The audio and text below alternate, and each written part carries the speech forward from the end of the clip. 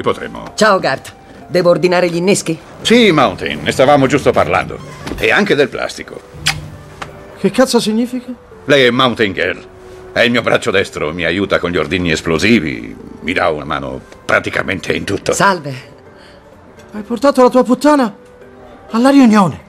Ehm, anch'io devo confessare un certo imbarazzo. Credevo d'aver chiarito che per la nostra piccola attività sarebbe stato indispensabile il mutismo assoluto. Oh, certo, lo so, ma lei è Mountain Girl.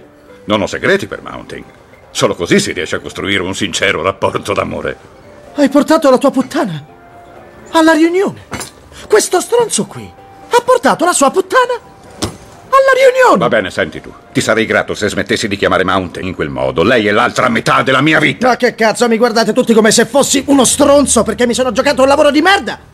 E questo rotto in culo porta la sua puttana alla casa della focaccina! Stronzo, figlio di puttana, chiudi quella maledetta Eh, boccaccia! sei tu che devi chiudere il buco del culo peloso stronzo! Fate indietro! E indietro! Allora, allora, allora! Prego. Vi prego, signori, questo comportamento vi scredita agli occhi dei vostri colleghi e a quelli degli altri avventori di questa casa della focaccina. Stronzetto. Guarda qui, ho macchiato di sciroppo di mirtilli la mia sahariana.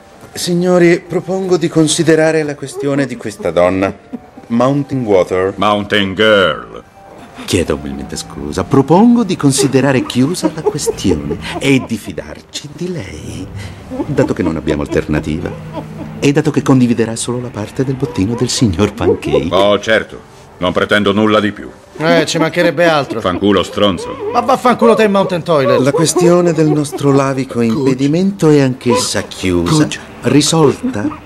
A questo punto dobbiamo soltanto fare in modo che Gawain recuperi il suo lavoro. Coach, Sì, io- La... non potremmo corrompere il tizio.